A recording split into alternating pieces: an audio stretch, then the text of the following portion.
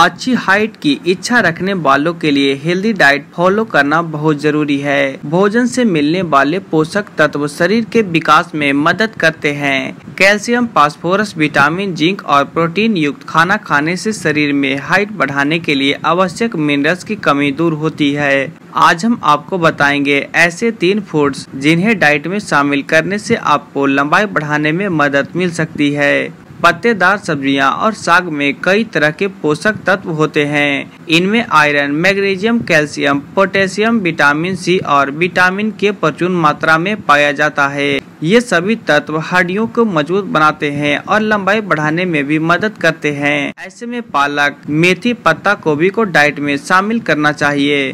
अंडा को पोषक तत्वों को खजाना माना जाता है। विटामिन सी के अलावा लगभग सभी तरह के न्यूट्रिएंट्स इसमें पाए जाते हैं। हड्डियों को मज़बूत बनाने के लिए एक स्टडी के मुताबिक रोज़ाना अंडा खाने से कद को बढ़ाया जा सकता है।